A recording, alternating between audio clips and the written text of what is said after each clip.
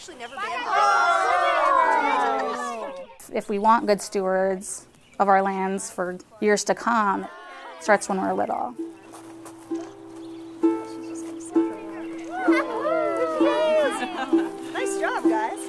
Before you can even love something, you have to connect with it. And in our education world right now, we're a little bit disconnected. We might learn about it in the classroom, but there's no hands-on and it's hard to connect unless there's hands-on, and that's what Bird by Bird has done. So woodpecker tails are really unique how stiff they are. You see how dirty and worn his tail is? Do you know why it might be like that? Because he pooped on fighting. So when a woodpecker is climbing a tree, he uses his tail as a tripod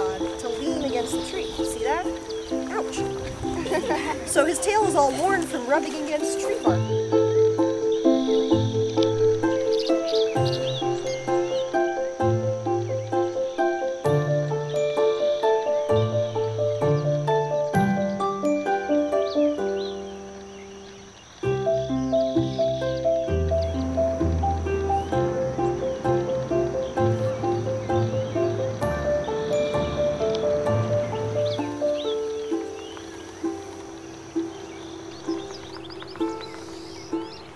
We wanted to make people more aware of watching wildlife in your own backyard, and we thought, well, we could take it one step further and really involve schools.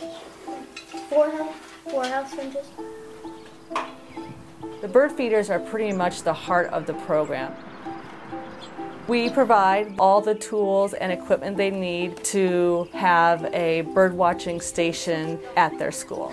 The students, in turn, their obligation is to be citizen scientists.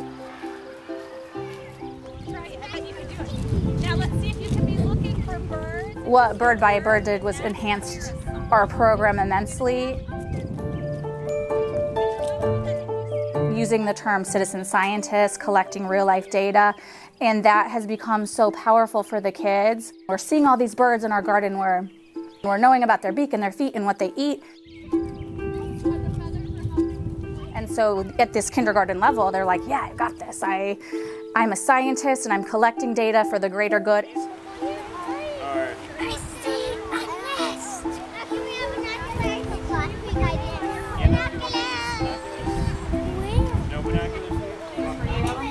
Cracking beak, all-purpose beak, tweezer beak, hooked beak. And remember, her bird eats berries and insects.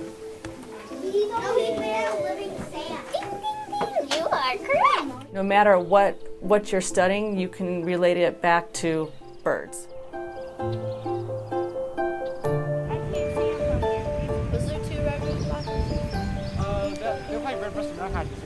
Oh, there we go. Oh, it's a black chickadee.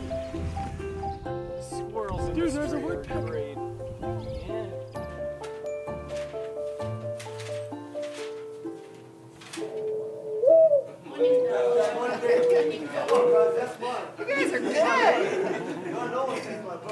I told them, you know, I understand that you're not all going to be bird biologists when you leave here, but you're going to have to learn hard stuff. Because really, I think high school is about learning how to learn because they're going to have to learn so much once they leave these halls. And, and so if they have those skills, then we've done our job. So do you guys remember how we're looking at the combination of old and new feathers? Kind of like we're looking at your combination of old and new teeth when we band you. So check There is a power to nature to be able to um, kind of pull out this aliveness um, in children that they sometimes uh, don't have as much today. So there's there's moments that I see kind of this light turn on when they are watching uh, maybe a bird for the first time. And they leave this program feeling so connected to nature and loving nature and wanting, wanting to protect it. It's more than just birds. By involving classrooms in Bird by Bird, it will shape tomorrow's conservation leaders.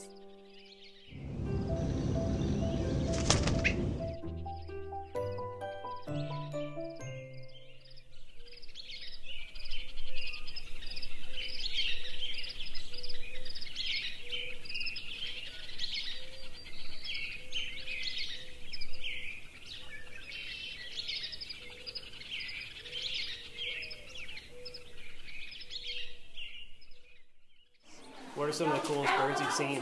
Well, um, I've seen lately we've been seeing a, seeing a horned owl like on our um, on this light post, Uh huh.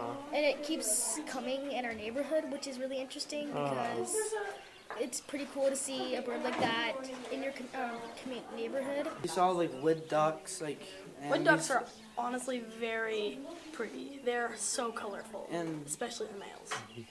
and because they're kind of like peacocks. In a way, they're like the Idahoan version of peacocks.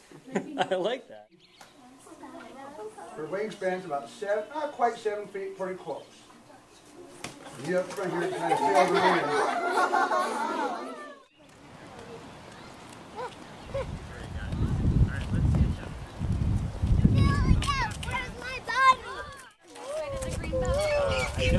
I. You